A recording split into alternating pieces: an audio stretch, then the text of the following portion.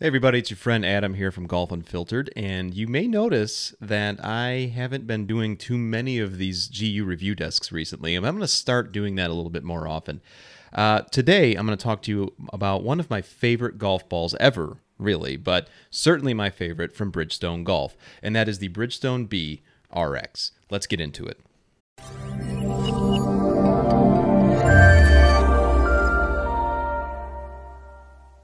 Right, so if you haven't been to our channel before, go ahead and hit subscribe really quick. Click the bell, you know what to do to get alerts when we have new videos. But to get right into today's review desk, we're going to talk about the Bridgestone Tour B RX. Now, Bridgestone has a full line of different golf balls. You've probably heard of many of them. They all have the uh, Tour B or the X, and there's a lot of different acronyms around there. But really, to kind of clarify things for golf uh, for golfers who may swing under 105 miles per hour. I'm going to point you in the direction of the Tour B RX because this is definitely in my wheelhouse. With my driver speed, I am certainly under 105 miles per hour, probably closer to about 100. And so if you're around that or even lower, you're going to get the most distance and best performance from the Tour B RX. And so what makes it so great? So one of the best features of the golf ball is what Bridgestone is calling the reactive cover. It's a really cool name for a very cool piece of technology. What reactive essentially does is it gives you this boost of distance off the tee that, of course, everyone wants, no matter what I would say on uh, different episodes of the Golf Unfiltered podcast.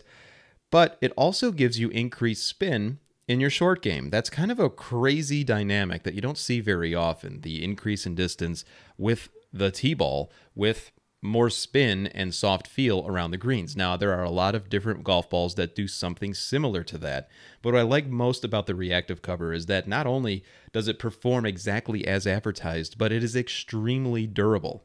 I, like many golfers, hit the wayward tee shot every so often. May it land in a, uh, you know, rocky bunker or off of a tree, and you could still use this golf ball for a few golf holes. Now, it's really important to understand that when you're shopping for a golf ball, you have to look at a lot of different features. First and foremost, you want to see, all right, well, is this going to be a golf ball that fits my game?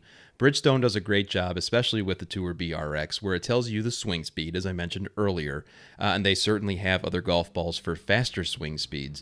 But you also want to take a look at, okay, well, what type of dimple pattern, what type of feel, and what type of spin are you going to get around the greens correlative to that swing speed. And I would say that the Tour BRX hits everything that I would possibly need for my game. I've shot some pretty good scores uh, with the Tour BRX. I have no reason to believe that I wouldn't be able to shoot my best scores.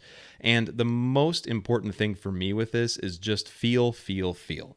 You know, when you're around the green, you want to be able to trust that feel in your hands when you're hitting a little chip shot or a pitch shot. And even in your putting, I really enjoy a feel of a softer, muted golf ball, uh, which, of course, there's a lot that go into that with from your putter face as well.